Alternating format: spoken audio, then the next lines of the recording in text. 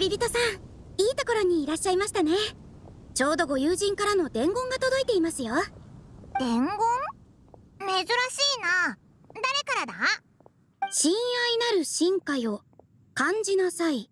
運命の銀紙に包まれていることを。大元無心。ん？神羅万象の瞳があなたを見つめている。うん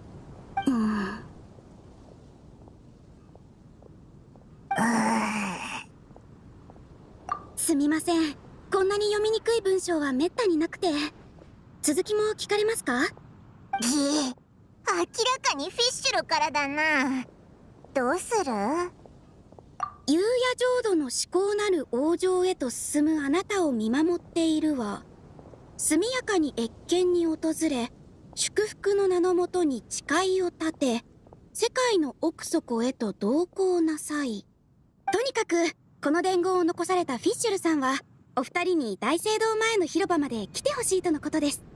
お時間があれば行って差し上げてください。ずっと待っているとおっしゃっていました。はあ意味不明の伝言なのにしてほしいことは具体的だな。やれやれだぜ。来てほしいってことならあんまりフィッシュルを待たせない方がいいよな。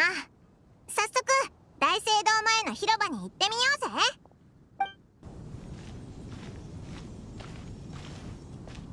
あっちだ。モナもいるぞ。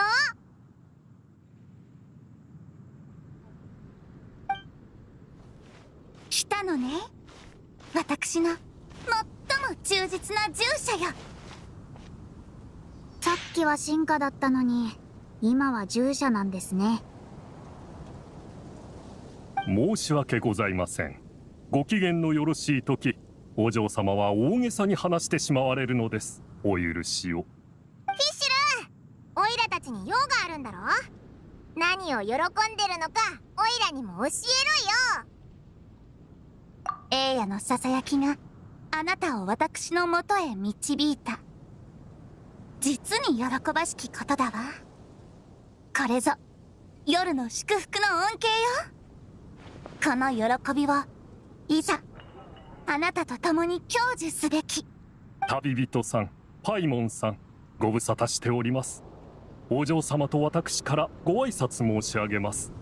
おおいらもちゃんと挨拶したかったけどどこで口を開けばいいのかわからなかったぞ普通ここは旅人さんお元気ですか？というところでしょう。彼と私は天球にかかる創生そのもの。この出会いがどんな運命を意味するのか。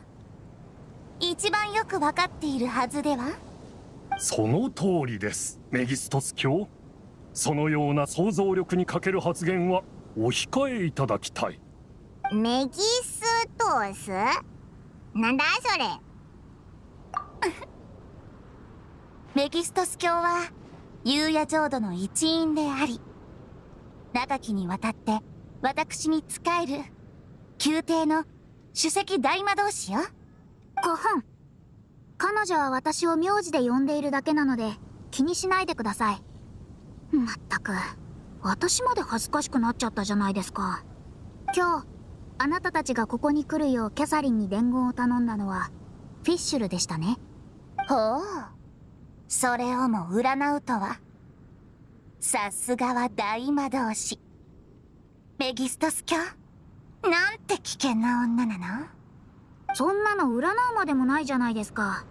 キャサリンに伝言を残したとあなたが言ってたんでしょ？ご本失礼。とにかく私も家のドアを叩かれて呼び出されたんです。これから彼女がどんな発言をしても驚かないでください。オイラたちには朝飯前だぜ。伊達に世間を知ってないからな。怖くなんかないぞ。我が従者たちよ。暗黒の運命を背負った。我が祖国。夕夜浄土がこの世に帰還したわ。私と共に立ち上がり。我が王朝の神聖なる栄光を見届けなさい。はあ。またやっぱぱりおいらわからないぞ。かように偉大で極秘なる天の啓示は我がしもべのみが知る特権を持つ。夕夜浄土モンド付近にあり。おおなんということでしょうありえないように聞こえるでしょうが今回の情報は空騒ぎではありません。私もそれを証言できます。実はフィッシュルはメギストス教。ああ本当にしょうがないですね。まったく。どうして私のような天才先生術師がこんなおままごとに付き合わないといけないんですか。実は公女殿下は昨日町の外で火花騎士クレイとお会いになりました。お二人は以前からお互いのことをよく知っていたためすぐに話も弾みました。しかし日が暮れてしまったので公女殿下は気遣いと思いやりの精神でクレイをモンド城までお送りになったんです。道中公女殿下はクレイに自分の人生を語り心優しき小さな騎士は殿下の祖国が破壊されたことを嘆き涙を流して尋ねました。へえ。その夕夜浄土って場所本当に滅んじゃったの？もう一回作られたりもしない？凡人よ。その誠意と思いやりに感動を受けたわ。教えてあげる。夕夜浄土は不滅でありいつか再び世に現れるの。本当に？じゃあどうやったら呼吸は元通りになるの？クレイに教えて。お願いお願い偽りなき真心を持って聞くならばいいでしょう。静寂の楽土と無類の警母を。そして時間と風を我に与えし時世界は蘇らん。その時の芝居はいいから要点を言えよ。簡潔に言えば夕夜浄土を蘇らせるための大聖地にとクレイはある島を譲ってくれたんです。私もこの手紙を見るまでは信じられなかったんですが。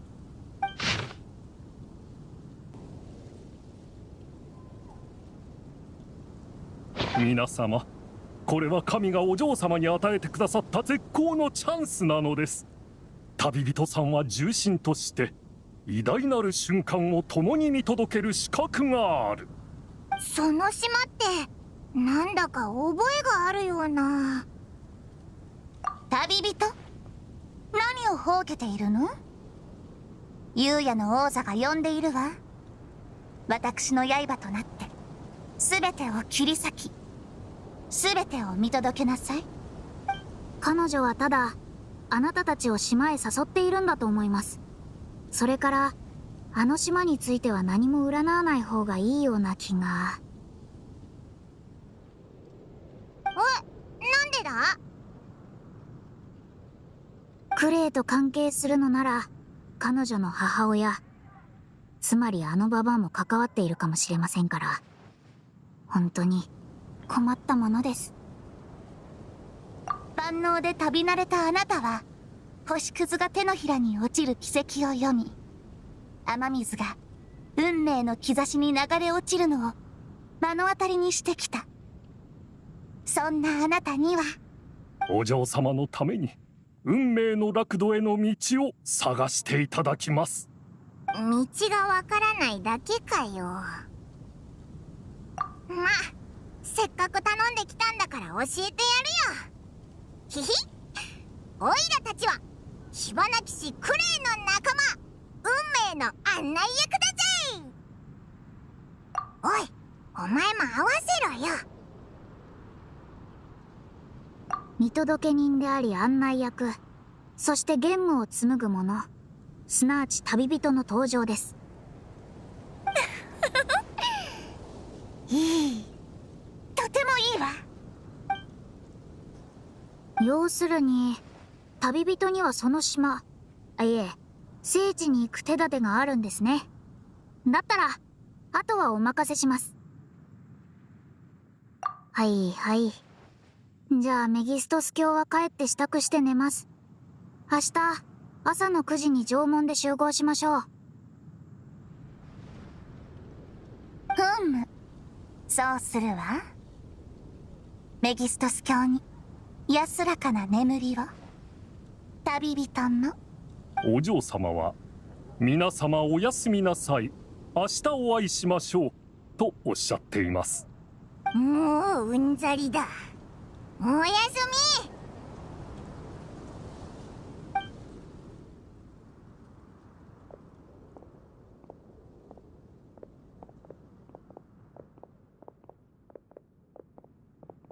おいら疲れたぞ。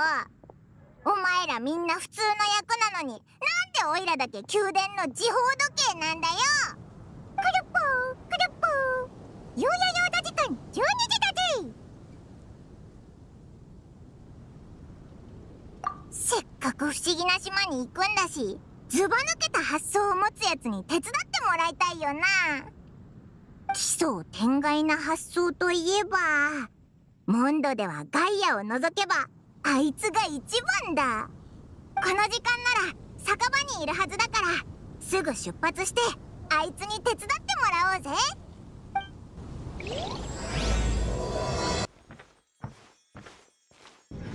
着いたぞ。えー、っと銀融野郎はってうえおいなんでこいつらまでモンドにいるんだよ！へえ本当に来るなんてね。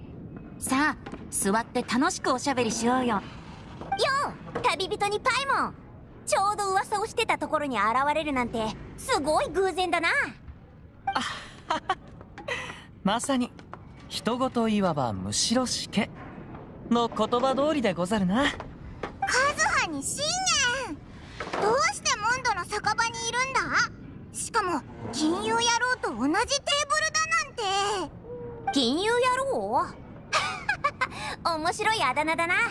どうやらあんちゃんの歌声はかなり有名みてえだ。ロックじゃないのが残念だけどね。深淵と共演できたかもしれないのにみんなも彼女と知り合いだったなんて驚いたよ。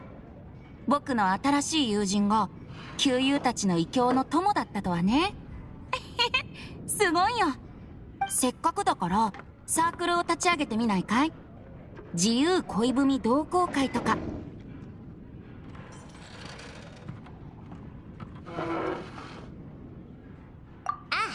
あたいは曲のインスピレーションを得るために旅してきたんだ。ちょうどカズハも旅がしたいって言うから一緒にさ。先月北斗さんが豪傑早飲み大会って盛大な飲み会を開催してさ。そこで演奏を手伝ったことがきっかけでカズハと知り合った。深淵殿は自由奔放に見えるが音楽に対する理解は非常に繊細かつ独特。拙者たちは音楽のソウルメイトと言えるであろう。そうだぜ。カズハは葉っぱを楽器にできるんだあたいの友人の中でも屈指の凄腕さ。リーウェを出て石門の先へまっすぐ進んだらすぐモンドだ。途中綺麗な荘園もあって素敵だったぜ。おお。そういえばその荘園もオイラたちの友達の子孫なんだぜ。本当か？あんたら友達が多いんだな。あんなところに住んでるくらいだしその友達もきっと充実した人生を生きてるんだろえー、っとそうかもな。人は同じ志を持つ者同士で集まるものでござる。旅人とパイモンはそのご友人と同様良き品格を持っているのであろう。口がうまいな。いつもオイラに突っ込んでくるこいつとは大違いだぜ。あそうだ。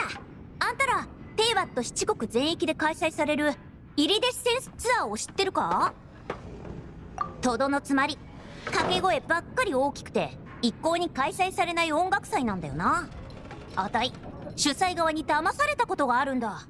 なのにまたやるなんてさ担当者の顔が見たかったのにまた採点についての情報が途絶えちまってまさか今回も中止になったのか？音楽はインスピレーションが大事だけどそれがなかなか湧かないからコンサートを中止にしたのかもね。でもまあ君たちの旅も無駄じゃなかったと思うよ。この旅で僕つまり生きる音楽の殿堂のところに来られたんだから。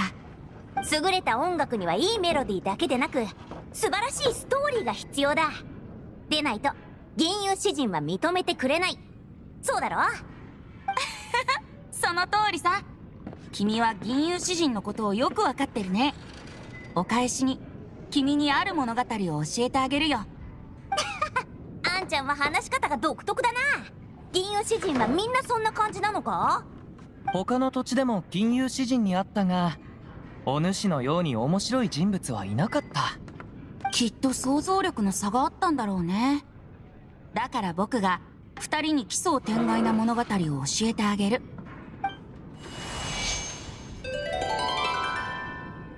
かつて海の真ん中にはエメラルドのような島があるという伝説があった。ドド大魔王はそこで進化と幸せに暮らしていた。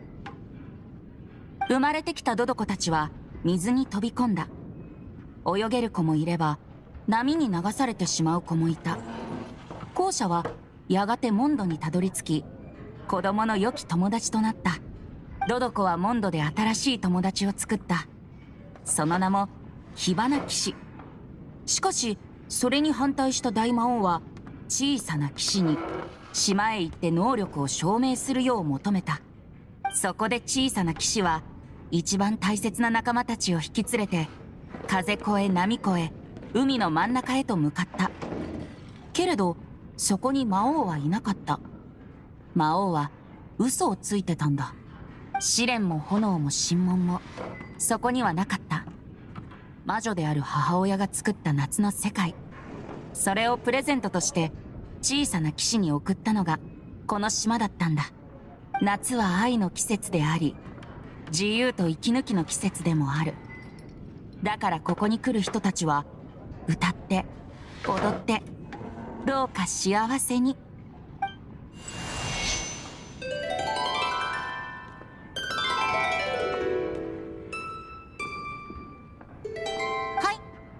語はここでおしまい。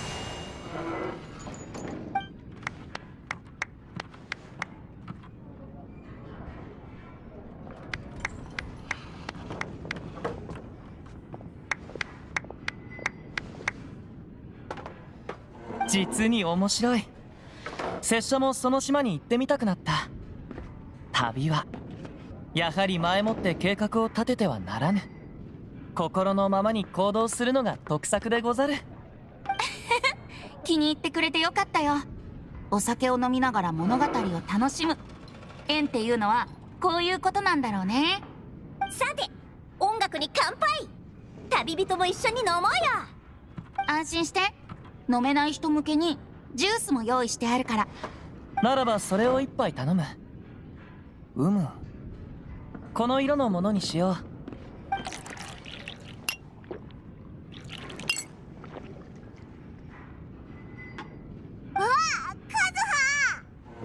あれあんちゃんが酔っ払っちまったぞ。風邪を飲んでたんじゃなかったのか？あの飲むでござる。あうっかりアルコールが入ってるやつを出しちゃったよ。えごめんね。おい。だいぶ飲んだことだしそろそろ本題に入ろうか。何か大切な用事で僕に会いに来たんでしょ？そういえばオイラたち飲みに来たわけじゃなかったぞ。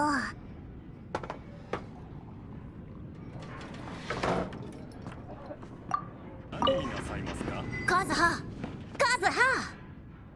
はあまだ目を覚まさない。今夜は酒場に泊まることになりそうだな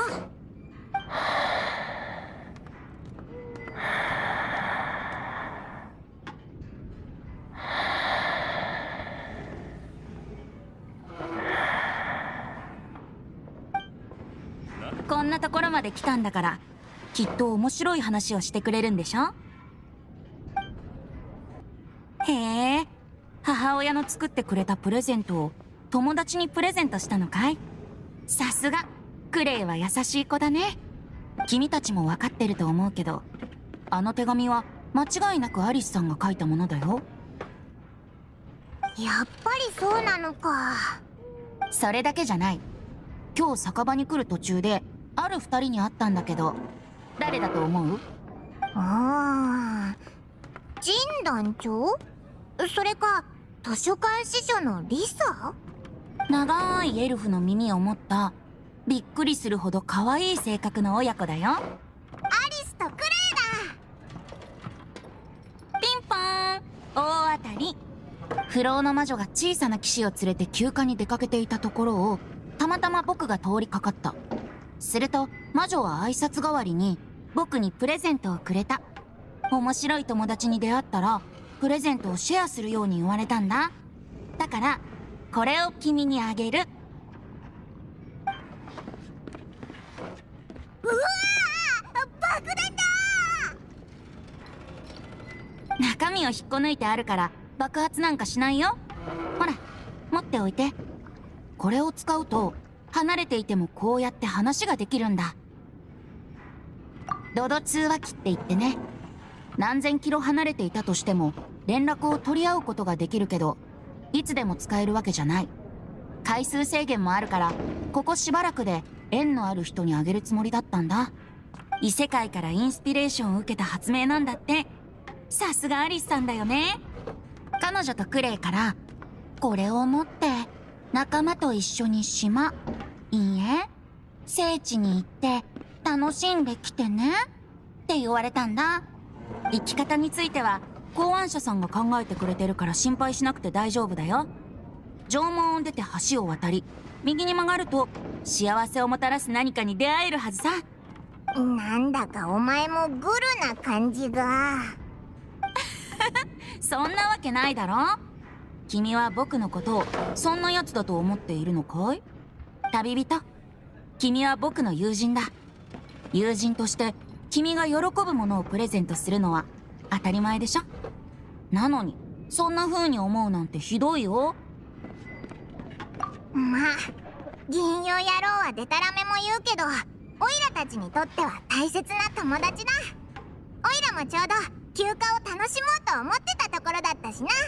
ひ ひそういえばさっきカズハとシンエンも興味津々だったよな。一緒に来ないか聞いてみたらどうだ？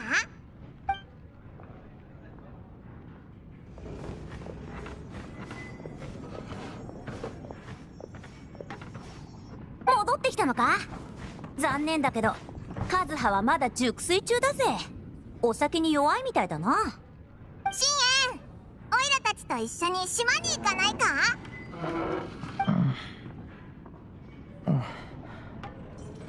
冒険ならぬ。え？行きたくないのか？さっきまで興味津々だったのに。の機会を逃して。ならぬ。カズハのやつ大人っぽいって思ってたがちゃんと新しいものに興味を持つ若者だったんだな。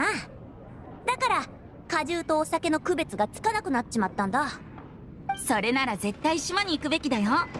あの島には銀融詩人も絶賛する美しい景色があるんだ。あじゃあ決まりだな。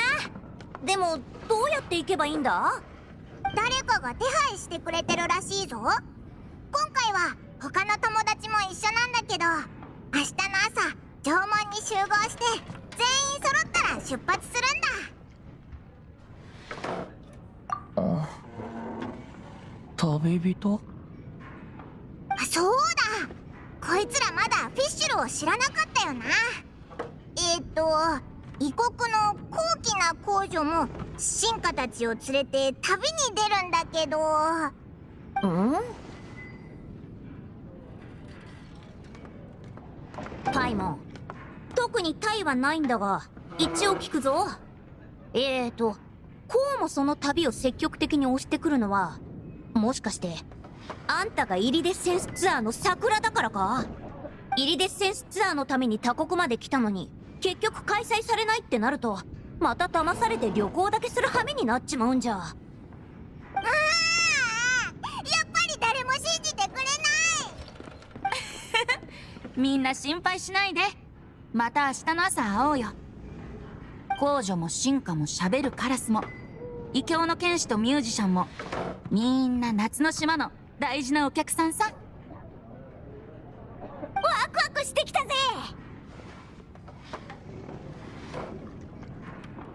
僕は遠慮するよ。まだ仕事が残っているからね。え銀融野郎が仕事するだって？猫の耳と尻尾を持った女の子に強豪店に勝てるよう酒場で歌ってあげるって約束したんだああそう。女性がいる。あの酒場。猫アレルギーじゃなかったのか？だけど屋上で歌えるから大丈夫。売り上げで相手に勝てたらお酒1ヶ月分をくれるんだって。こんないい話僕にうってつけだよね。だから僕のことは気にせずみんな楽しんできて。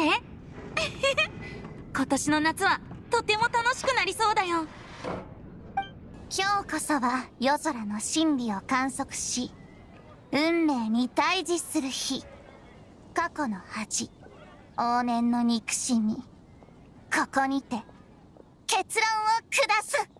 お嬢様恐れながら何とかを下す。というセリフはお嬢様のキャッチフレーズではないようですが。もちろん違うわ。私はただそれを耳にしておこのセリフは大陸中の知恵と勇気ある言葉の中から今日の特別さを示すため。ん？どれどれ？ああ本当に他人の口癖じゃないですか。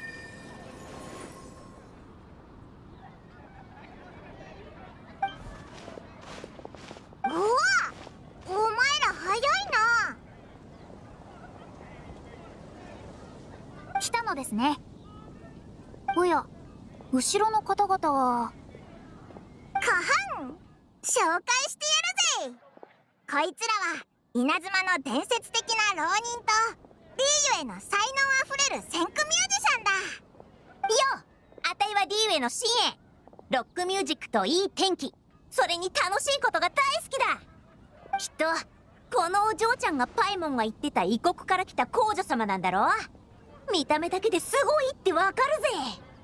それからそこの帽子をかぶったレディ家族から最も博識な学者は大抵とんがり帽子をかぶってるって聞いた。あんたもそうなんだろ？この女見る目がある。深淵。あなたのその目は夜の霧を見破り真実を見極める。まさに私が必要としている人材ねいいわ。私配下の音楽家にしてあげる。あなたは人を見る目があると褒めているんです。まあ私も同じ意見ですよ。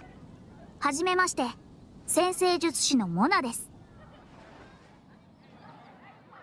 おう二人に会えて嬉しいぜ。モナはすごいんだぜどんな人でもたちまちどんなやつか見抜いちゃうんだ。公女殿下と先生術師。そして雄弁なカラスの進化。お主たちに比べれば拙者はただの凡人でござるよ。稲妻の楓原和葉。皆に会えて光栄でござる。そのカズハというものよ。力と名を告げよ。お嬢様は職業と趣味は何ですか？とお尋ねになっています。その拙者はただの通りすがりで取り柄など。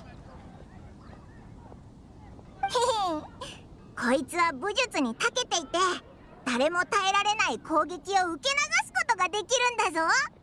それに凡人には想像もつかないような速度で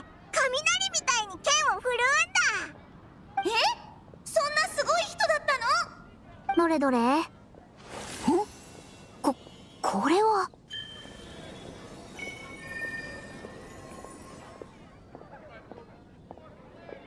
カズハさんのような剣の達人にお会いできてとても光栄です。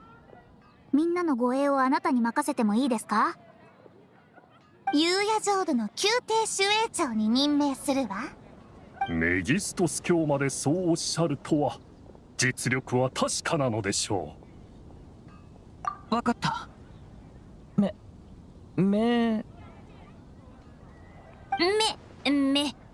なんだっけ？オーナーでいいですから。その変な名前で呼ばないでください。そういえばメギストス卿オイラたちどうやって聖地に行けばいいのか聞いてきたぜ。ひひ。伝説の大魔女から偉大なアドバイスをもらったんだ。さあみんなオイラを見ろ。これがオイラたちの交通手段だ。うん。なんだか急に行きたくなくなりました。独特だな。見た目が。ちょっとグオパーに似てないか？グオパー？万民堂の不思議な生き物のことでござるか？そう言われてみれば確かに。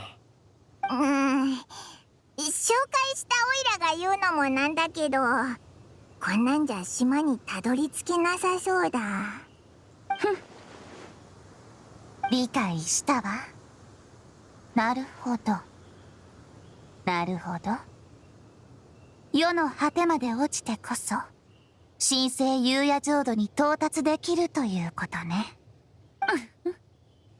聖なる雷に焼かれた扉とは私の現世での断罪にふさわしい。オズよ道を切り開きなさい。先陣を切るのは私です。お嬢様は動かれませんので。入ったら消えこれはまさに聖地への断罪の道。念のため私が占ってみます。たメギストス卿これはあのアリス様の創造物だぞ。そんな自己犠牲を払わなくていいから。オイラたちと一緒に来い。そうでした。忘れてしまうなんて。まあいいでしょう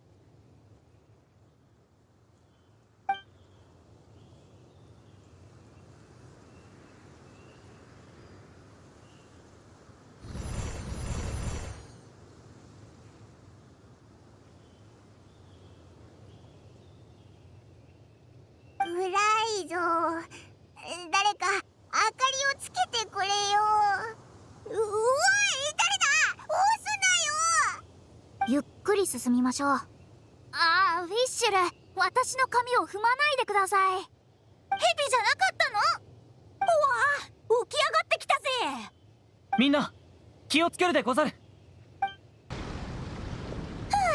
やっと着地したぜ。さっきのは一体何だったんだ？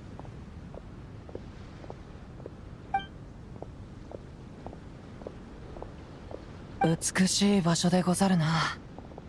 風と海。そしてこの穏やかさ。うむ風の匂いも心地よい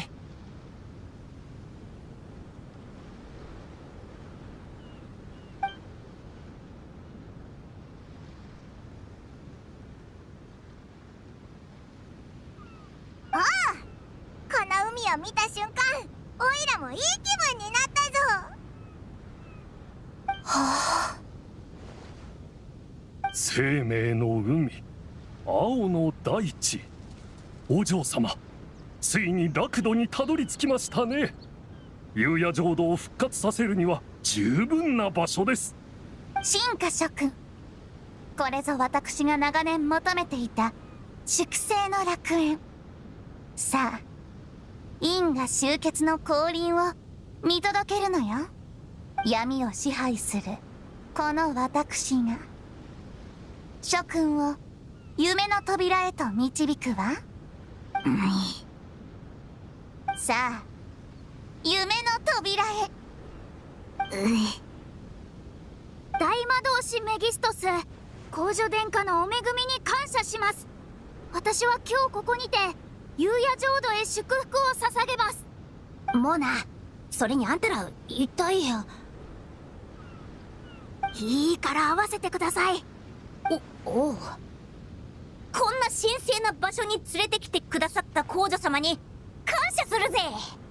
皇女殿下このような旅の機会を設けていただいたことありがたき幸せにござりまする。皆の喜びは私の喜び。このような天命を尊奉する機会に皆を招くことができて大変嬉しく思っているわ。これより巡礼の旅に出かけ身をもって国土の命の海を感受する。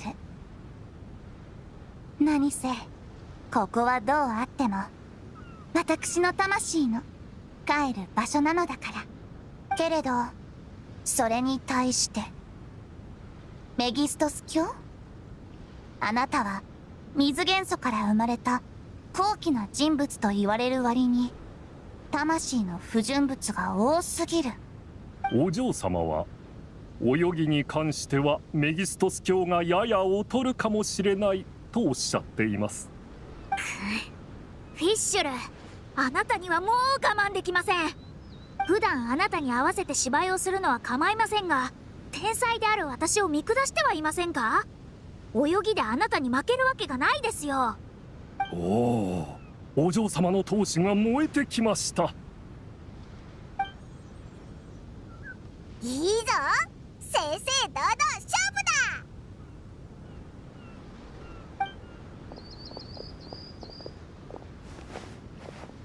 だ。その挑戦受けて立ちましょう。メギストス教あなたごときが私に挑むなんてその愚かさを食いることになるわよ。無駄口はよしてください。私は子供の頃から泳ぎで負けたことがないんです。さあどちらが先に海までたどり着けるか勝負です。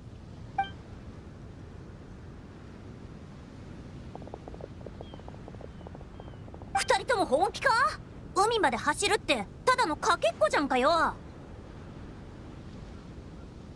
お主は今空いてるか？周囲を見回っておきたいのだが。付き合ってくれぬか？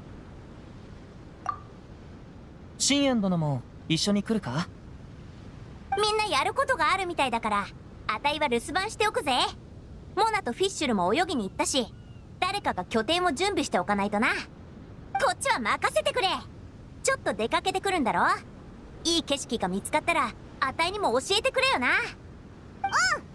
じゃあ頼んだぞおいあっちにでっかい変なやつがいるぞ。道中注意して見ていたがこの用途のわからぬ装置と隣にある軍棒以外に怪しいものは見当たらなかった。ともかくこの島には明らかに誰かが滞在していたようでござる。それにここ数日のものと思われる新しい足跡も見られた。本当かおいら全く気づかなかったぞ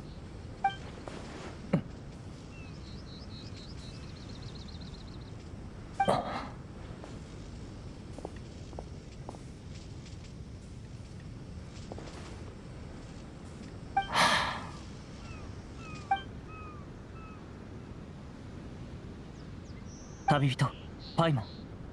油断は禁物でござるよ。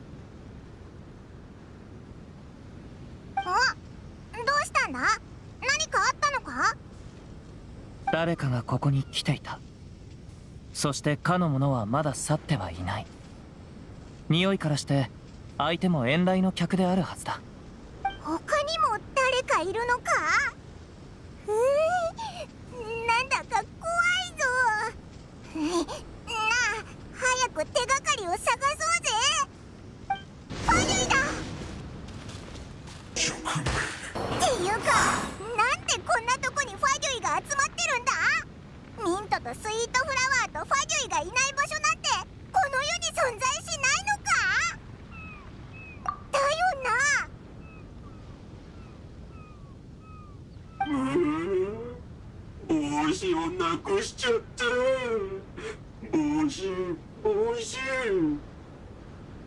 何か探しているのか？帽子ダメだなくすわけにはいかないああもう俺は何も知らないから。帽子を返してくれ。うんこの帽子をお探しでござるか？T さんの帽子だ。早くよこせ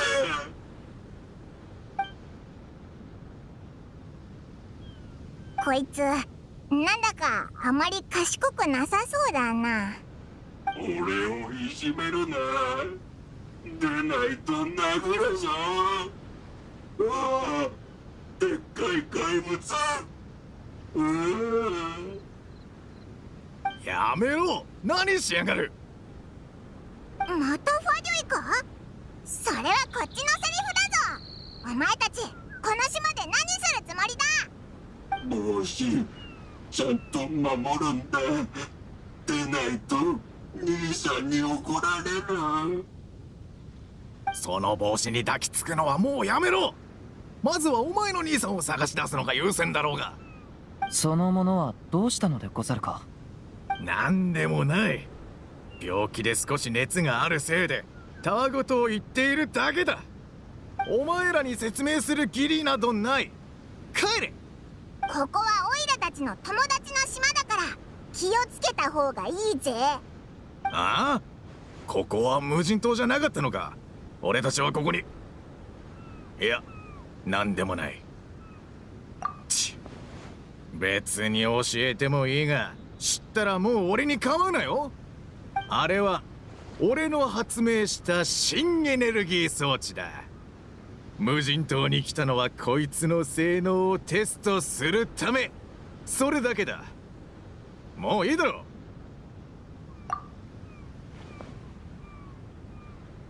答えないのならオイラたちはこいつの帽子を奪うぞ。あダメだ。帽子を取らないでくれ。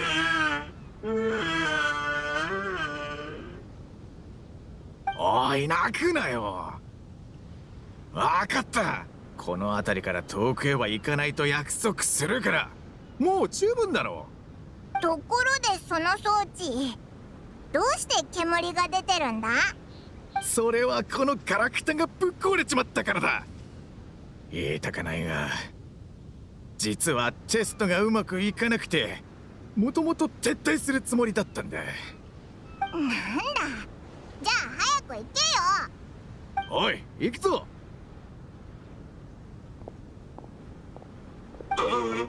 はいまったくせっかくの休暇なのにこんな奴らと出会うなんて。パデュイがこのような偏僻な島に現れるとは。ことはそう単純ではない気がするでござる。休暇中とはいえ常に警戒を怠らぬように。またあちらの女子たちの機嫌を損ねないために拙者から一つ提案があるのだがこの件は当分の間心に留めておこう。注意や警戒が必要なことについては旅人と拙者が責任を持って対応する。良いでござるか？カズハは思いやりがあるんだな。過方でござるよ。拙者はただせっかくの休暇がつまらぬことに邪魔されないことを願うのみ。美形の前に皆には幸せな気分でいてもらいたい。帰ってきたぞ。ちょうどいいところに来てくれました。旅人パイモン。あなたたちは私とフィッシュル。どちらが泳ぎ上手だと思いますか？遠慮なく。私のマナを口にするがよい。プラチナ・メギストス教が泣きを見るよう。なんだよ！それってオイラが決めろってことか？パイモン殿は人を見る目がありますから誰が真の勝者なのか見極められるに違いありませんぞ。パイモン殿？私に忠誠を誓う時が来たようね。ちょっと待ってその前にパイモンに何か食べさせてあげようぜ。長い間出かけてたからきっと腹ペコなんだ。信うむ。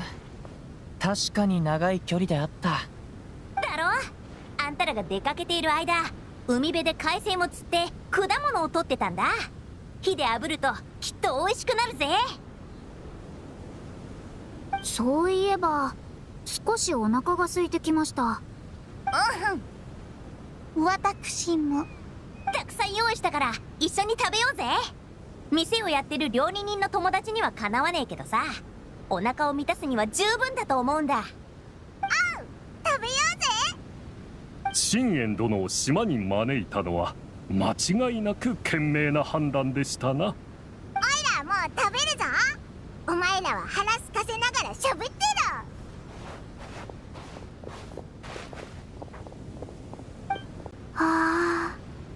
ーバーベキューの香り。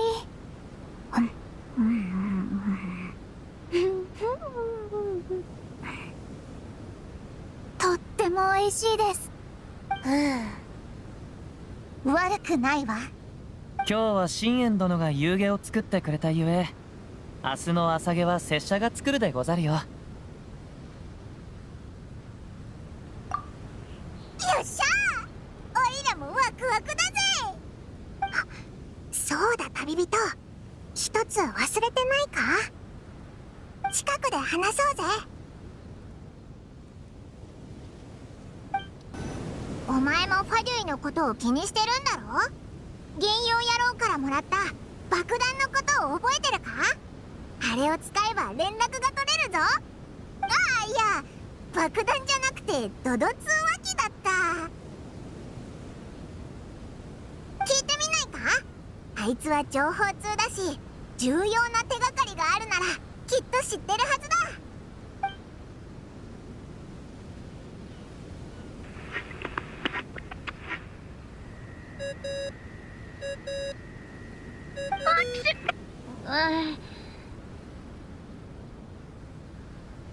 おやもう僕に会いたくなったのかい？